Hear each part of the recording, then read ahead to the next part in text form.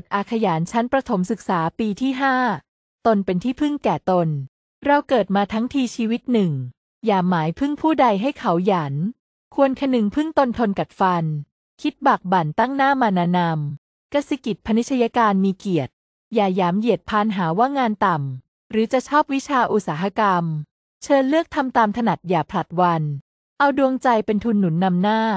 เอาปัญญาเป็นแรงมุ่งแข่งขัน เอาความเพียรเป็นยานประสานกัน ผลจะบรรลุสู่ประตูชัย เงินและทองกองอยู่ประตูหน้า